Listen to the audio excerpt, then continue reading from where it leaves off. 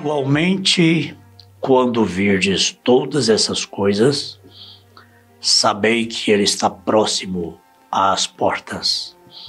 Em verdade vos digo que não passará esta geração sem que todas essas coisas aconteçam. O céu e a terra passarão, mas as minhas palavras não hão de passar. São Mateus capítulo 24, 33 ao 35. É uma escritura muito familiar para todo mundo evangélico, especialmente para os eleitos. Fala da parábola né, da figueira, quando já os seus ramos se tornam tenros e brotam folhas, sabeis que está próximo o verão. A igreja canta Cristo virá.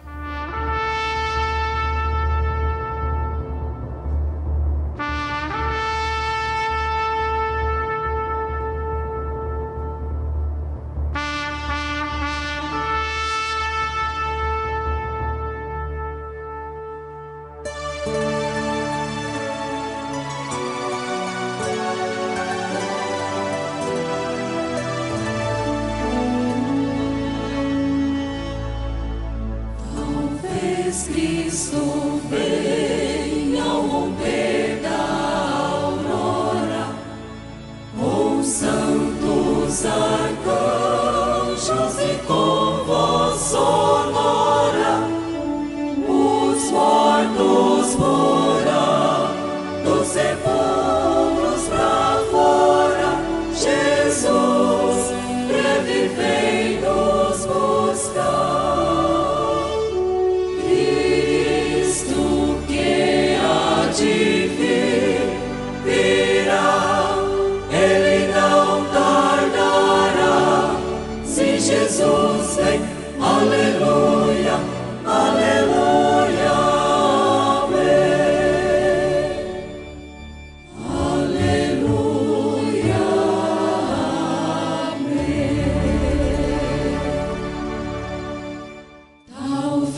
peaceful.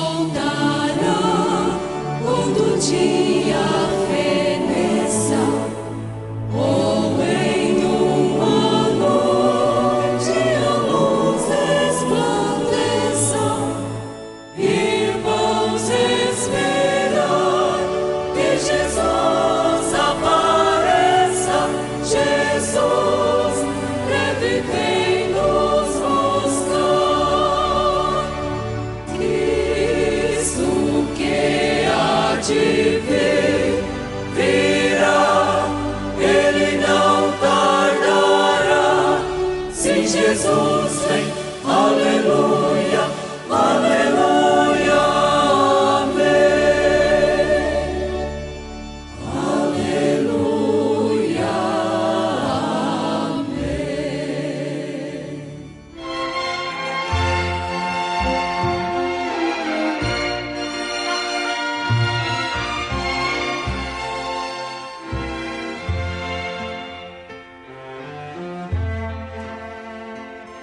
Bom dia, queridos irmãos, amadas famílias. Amanhecemos de novo juntos. Já lemos a Escritura para a nossa meditação, para o nosso conforto, em mais este culto doméstico ao redor da mesa do alimento natural e também o espiritual. O nosso abraço a todos os irmãos que fazem deste tempinho que temos aqui o seu culto doméstico. Claro que há muitos outros cultos que são também transmitidos por muitos outros pastores. Hoje é live, né? São muitas lives né, que os pastores é, colocam à disposição do povo, isso é muito bom, uma variedade muito grande, e programas de rádio e assim por diante. Agora, Há muitos que nos seguem e são abençoados. É claro, só nos segue, só nos segue quem é abençoado, né? Quem não é, assiste uma vez e para. Mas quem é abençoado, é abençoado e só tem a acrescentar. Como no domingo passado eu disse para a igreja, eu não tenho que proibir, eu não tenho que indicar para a igreja a quem ouvir. Eu disse para a igreja o seguinte: sua alma seleciona. Te faz bem, está acrescentando a sua fé, assista. Seja quem for, né? seja qual for o pastor, o pregador, está trazendo benefício, está edificando, está te fortalecendo, está te alimentando, assista. Por que não? Nós só devemos ouvir o que traz benefício para a nossa fé. Eu entendo que eu não tenho tudo. Jamais eu digo assim, a igreja tem que me ouvir só a mim. Nunca falo isso, eu não tenho tudo. Então, se a igreja assiste outras transmissões, outros cultos, eu fico feliz. Qualquer é, família que diz, ah, eu estou assistindo o pastor fulano de tal, está sendo bom, está tá edificando, tá? Amém. Isso é que é importante, né? Que traga edificação. Agora, é claro, tem que ter cuidado, mas a alma do eleito seleciona o que ela quer, né? Muito bem. Cristo que há de vir virá e não tardará. Quem acha que está tardando? Quando a gente ouve e vê, ouve e vê esse hino, dá vontade de subir, né? Dá vontade mesmo, parece que a gente vai erguendo assim do chão, né? E pensando, meu Deus, podia ser agora. Que esse Cristo que há de vir virá, podia ser agora. A gente vontade de levantar os pés do chão. Seria uma grande libertação. Grande. Mas Cristo que há de vir, virá. Disso nós não temos a menor dúvida. Mas deixa eu falar uma coisa aqui importante. Cristo virá? Não. Dei um exemplo para a igreja. Eu vou repetir aqui meu exemplo, o exemplo que eu dei.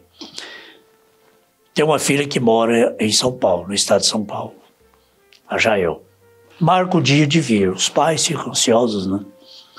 Bom, João vai ter, já tem essa experiência, né? Quando o Tiago fala, tô indo. A Belinha fala, tô indo. Ai, que bom. Quando a Jael fala, tal, tal dia nós estamos saindo. Aí liga quando sai de lá. Aí a gente fala, nossa, Jael saiu de lá, que bom. Aí vem, vem, quando chega em Uberlândia, estamos passando em Uberlândia. A Jael está vindo. O Rube e a Bequinha estão vindo, o Estevão está vindo. O pai, o vô, fica naquela expectativa, né? É um momento de alegria para todos nós. Ter a família conosco é muito bom. A gente às vezes vive uma solidão, né? Então é muito bom. Pai, estão passando em Uberlândia. Daí a pouco, pai, passamos Goiânia. Quando chega ali no posto presidente, o que, que eu vejo? A Jael não está vindo, ela está chegando. Onde você está, minha filha? Estou chegando, pai. Oh, que alegria! Quando chega, são abraços e oração de agradecimento.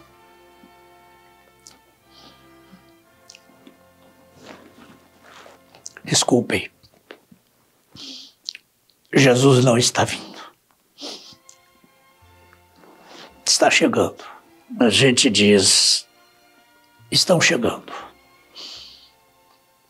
Hoje nós podemos, as famílias, falar um para o outro. Jesus não está vindo, ele está chegando. Não só Cristo virá, tal dia Cristo virá. Não, ele já está chegando. É muito mais do que virá, não? Né? É maravilhoso, é confortante para todos nós. Sabermos que a vinda do Senhor não está perto. A vinda do Senhor já está acontecendo, nós estamos dentro dela. O que é que falta? Vamos analisar bem ao redor da mesa aqui. Vamos analisar bem o que é que está faltando. A gente liga, Às vezes a filha, tem também uma filha em Brasília, é a mesma coisa, a expectativa é a mesma. A Leia, Nicole, Davi Lucas, Lucas.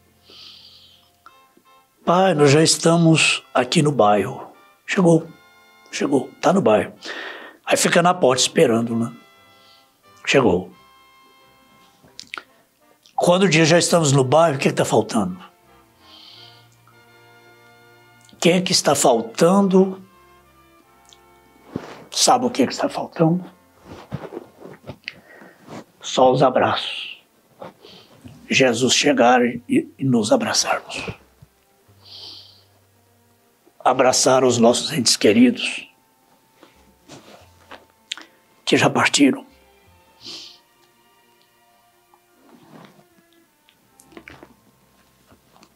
Abraçar minha velha mãe, que não é velha mãe mais, é uma jovem. Abraçar meu velho pai, que não é velho mais, é um jovem.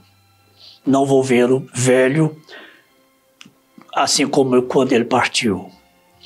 Estive com ele nas últimas horas. Mandarlene o assistiu até a última hora.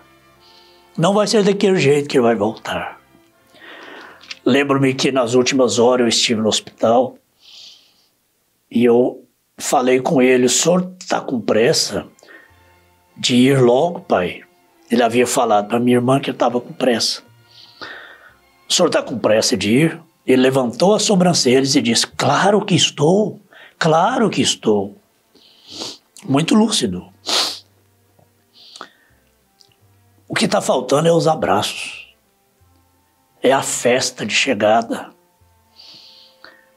Mas a tristeza de quando vem um filho, uma filha é que vai embora de novo. É a hora de voltar, né? Mas a vinda de Jesus vai ser uma chegada para não ter despedida mais não. Vai voltar mais não. Vamos abraçar a todos os nossos entes queridos para nunca mais separar, para nunca mais dizer adeus, para nunca mais dizer até, até, até breve. Quando parte um irmão hoje, nós dizemos até breve, mas não vai ser até breve mais. Será eternidade juntos. Desculpem, a gente emociona. Quando a gente analisa assim a vinda do Senhor. A única coisa que falta é a festa da chegada. Quanto nós ansiamos por isto, Senhor. O mundo está muito triste. As famílias estão tristes com o mundo e com tudo, com tudo que acontece no mundo. Mas os eleitos já estão dizendo uns para os outros: ele está chegando, está chegando já, está muito perto. Ele vem e vai embora, mas nós vamos embora com ele.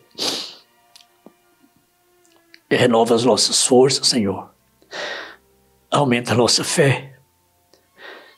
Queremos chegar como vencedores o que falta para a vinda do Senhor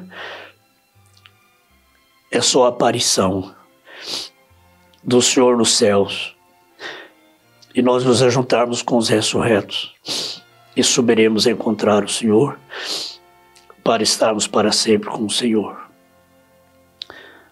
Não falamos em cura divina, mas se tem alguém doente, Senhor, seja curado agora, com a bênção da vinda do Senhor todos sejam curados. Dá glória a Deus aí pela sua cura. E Deus te livre de todos os males deste dia. No nome de Jesus Cristo. Amém. Amém, meus amados. Fiquem com Deus até nos vermos outra vez.